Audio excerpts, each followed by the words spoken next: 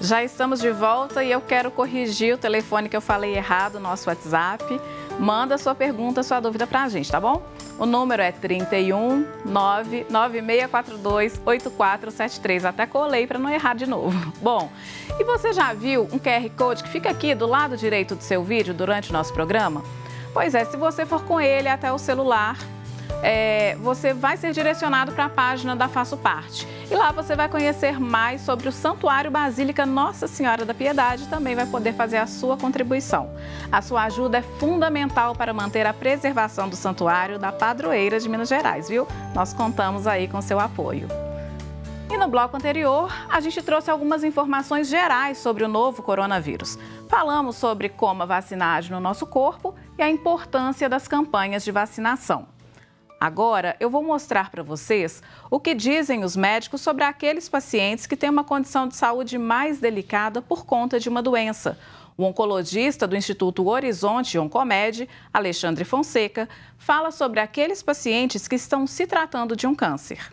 Os pacientes com câncer apresentam um risco aumentado de desenvolverem complicações e também maior mortalidade quando apresentam infecções por coronavírus. Dessa forma, é fundamental que esses pacientes se vacinem para a doença. A vacina Coronavac e a vacina de Oxford não apresentam contraindicações para essa população. A Coronavac ela utiliza vírus inativado e a vacina de Oxford utiliza um adenovírus, que é um vetor do material genético do coronavírus, que é incapaz de replicar em humanos. Dessa forma, é fundamental que os pacientes em tratamento oncológico ou em acompanhamento submetam à vacina. A vacina contraindicada para esses pacientes em tratamento imunossuprimido são aquelas com vírus vivo, atenuado, por exemplo, a da febre amarela. Bom, e depois aí das explicações do Alexandre, nós temos a participação da médica Mariana Peixoto. Ela é presidente da Sociedade Mineira de Reumatologia e nos fala sobre a imunização entre os pacientes que têm as doenças autoimunes. Nosso sistema imune ele serve para nos defender de agentes externos, como bactérias e vírus, por exemplo. Quando esses agentes entram no nosso organismo, ele é reconhecido, destruído, nos protegendo do adoecimento. Uma outra função é a cicatrização de feridas, por exemplo, como resposta inflamatória. Pacientes portadores de doenças autoimunes tem uma desregulação da resposta imune, fazendo com que o seu próprio organismo ataque alguma estrutura do nosso corpo. Dessa maneira, para tratar as doenças autoimunes é necessário o uso de medicamentos que controlem, que reorganizam e muitas vezes reduzem a resposta imunológica. Por este motivo, esses pacientes podem se tornar imunossuprimidos dependendo do grau de atividade de doença ou também do medicamento que fazem o uso. E existem algumas ressalvas que devem ser feitas para a vacinação desses pacientes. Uma ressalva é que vacinas vivas devem ser evitadas nos pacientes imunossuprimidos, pois essa vacina seria capaz de gerar a doença ativa nesses pacientes. Uma outra ressalva é que os pacientes imunossuprimidos podem ter uma resposta vacinal, que significa o grau de defesa que lhe foi conferido, reduzida, mesmo recebendo uma vacina morta, de vírus morto, que é permitido para os pacientes imunossuprimidos. E a grande dúvida do momento é se esses pacientes podem receber a vacina contra o coronavírus. É importante ressaltar que a vacina contra o coronavírus não é feita de vírus vivo. Então, esses pacientes podem e devem receber a vacina contra o coronavírus.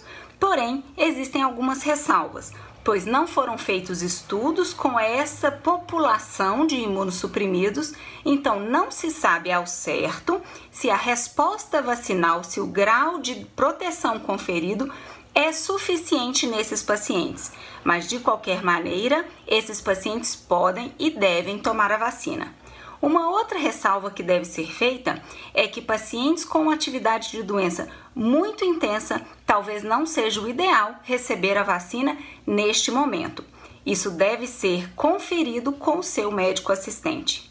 E a terceira ressalva que devemos fazer é que os pacientes imunossuprimidos entraram na lista de prioridades do Ministério da Saúde. Qualquer pessoa da população brasileira deve ficar atento aos efeitos colaterais da vacina para contribuir com uma farmacovigilância mais eficaz. Os pacientes portadores de doenças reumáticas imunomediadas devem, antes de tomar a vacina, perguntar para o seu médico se estão no momento ideal de tomar essa vacina e, após tomar a vacina, comunicar qualquer anormalidade que ocorrer. E a Anvisa, a Agência Nacional de Vigilância Sanitária, aprovou no dia 17 de janeiro o uso emergencial das vacinas Coronavac, produzidas pelo Instituto Butantan, em parceria com o laboratório chinês Sinovac, e a vacina da Universidade de Oxford, feita aqui no país pela Fiocruz. As primeiras doses a serem distribuídas e aplicadas são da Coronavac. E ainda nesta sexta-feira, dia 22, chega ao país o avião trazendo as primeiras unidades da vacina de Oxford. Vamos conhecer a unidade brasileira onde esta vacina também está sendo produzida e ver o que o diretor fala sobre essa produção e eficiência da vacina.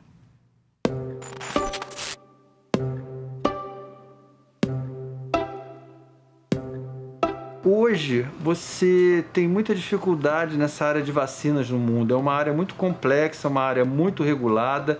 São poucas as instituições que têm capacitação para atuar nessa área, principalmente as instituições públicas.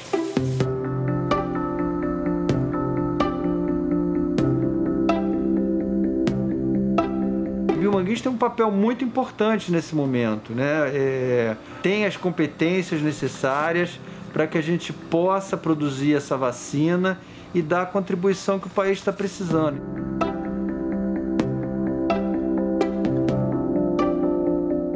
A nossa interação maior é com a AstraZeneca. A vacina foi desenvolvida por Oxford, mas eles licenciaram para a AstraZeneca é, para o escalonamento industrial da vacina.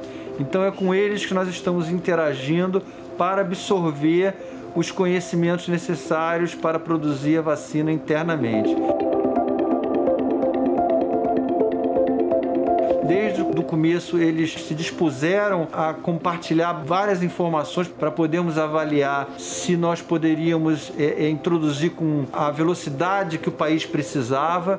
Isso foi um dos fatores que influenciou a escolha. Eu diria que a nossa parceria com eles está sendo muito boa. Para você ter uma ideia, o processo de transferência de tecnologia da segunda fase, que é a produção do ingrediente farmacêutico ativo, o contrato não está pronto, mas as informações já estão sendo trocadas e o processo de transferência de tecnologia está em andamento.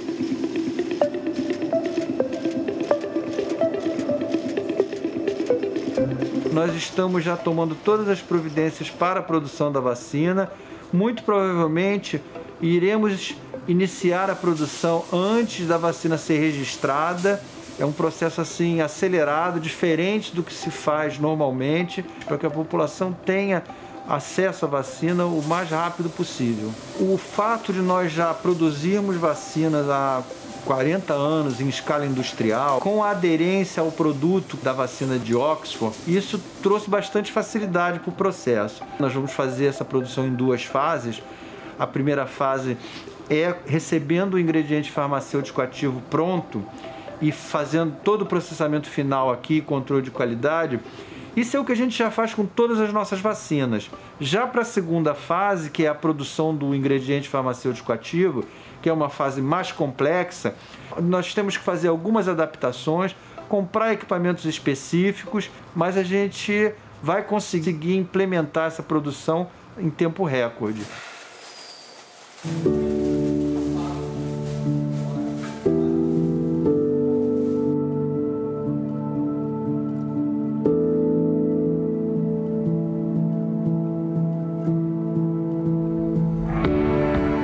Programa Nacional de Imunizações, ele, ele é que é o responsável pela distribuição da vacina no, pelo Brasil e pela definição das estratégias de imunização. Com a vacina pronta, aprovada, registrada, nós iremos entregar essa vacina no almoxarifado central do Ministério da Saúde e de lá o Programa Nacional de Imunizações irá é, efetuar a distribuição nacional de acordo com o plano que eles tiverem estabelecido.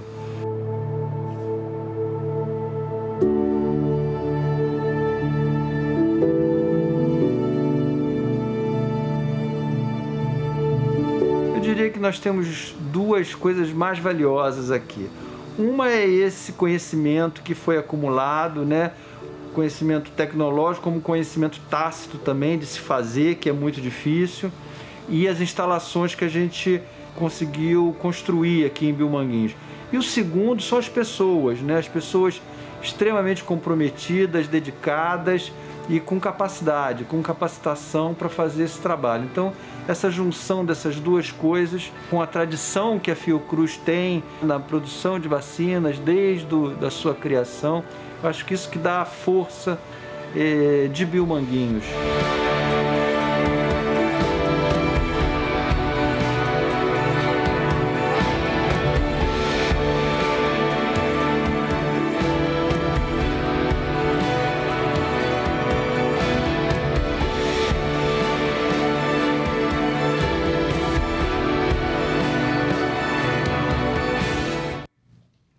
Bacana ver quanta gente está trabalhando para o fim dessa pandemia, né? Tem dúvidas? Estou reforçando mais uma vez. Mande sua pergunta para o nosso WhatsApp. 31 99642 8473. Ainda dá tempo, viu? E agora a gente vai para o intervalo, mas é rapidinho. Voltamos já já.